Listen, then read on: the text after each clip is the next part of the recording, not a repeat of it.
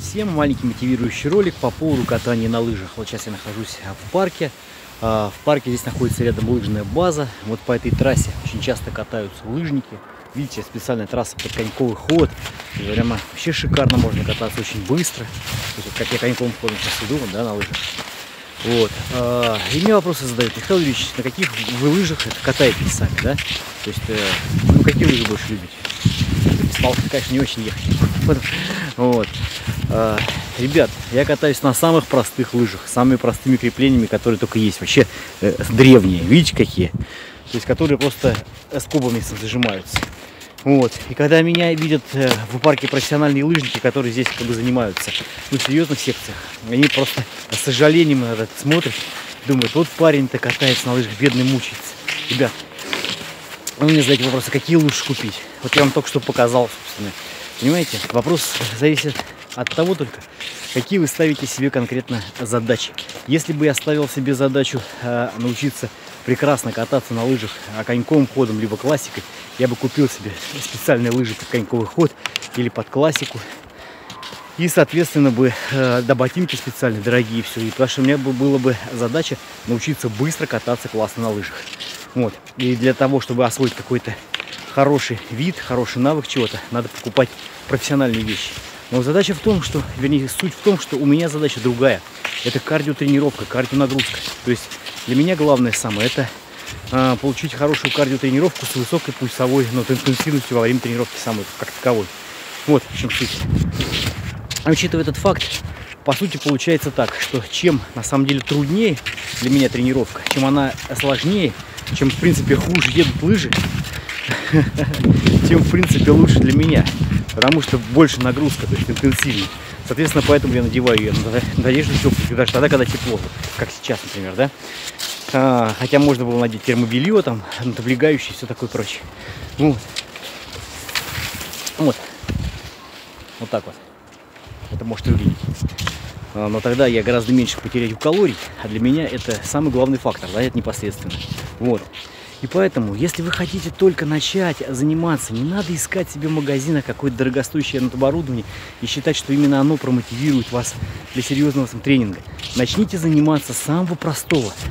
Самого простого. Главное, чтобы это было безопасно для здоровья. Это я к тому говорю, что многие скажут, что а, а сам продаешь дорогие там, макивары и советуешь начинать заниматься именно с них. Да, советую заниматься именно с них, потому что занятие на макиваре э, небезопасно для здоровья. Вот. И э, задача там стоит по безопасной набивке и укреплению ударных э, поверхностей. Если вам безопасность к пофигу, можете на чем хотите делать. И, и э, там результатом по набивке вы хотите достигать за огромное количество времени. Ради бога.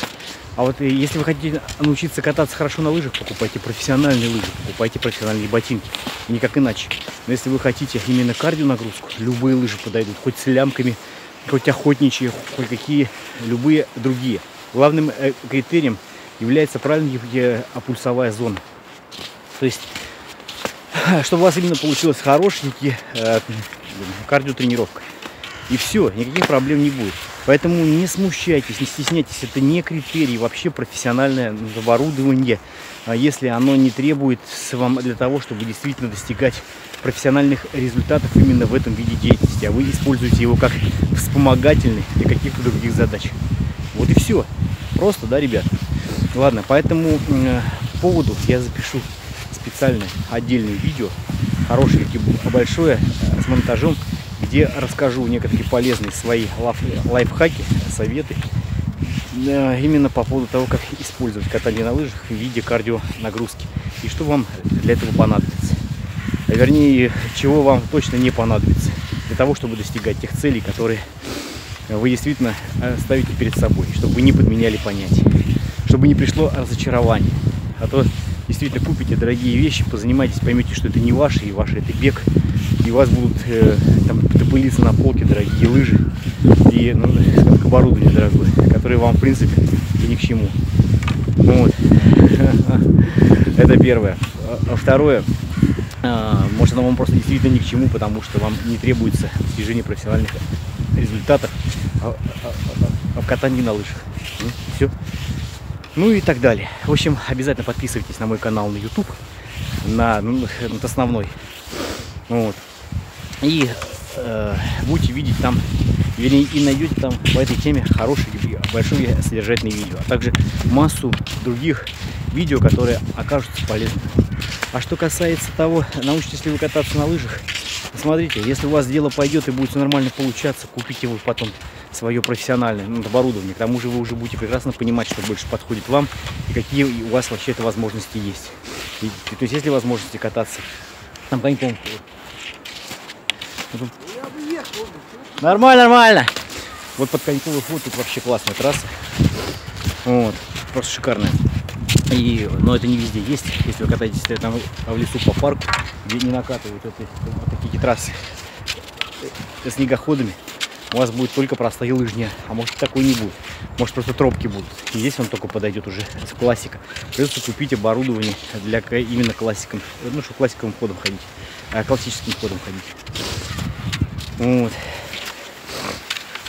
А, а если есть возможность, значит, э, коньковым понимаете, вы уже а поймете, то есть а, на простом оборудовании не покатавшись, вы просто поймете, какое вам уже а, в дальнейшем оборудование понадобится. Ну, и все. И все будет отлично, вы будете прекрасно понимать, что, в общем-то, вам нужно.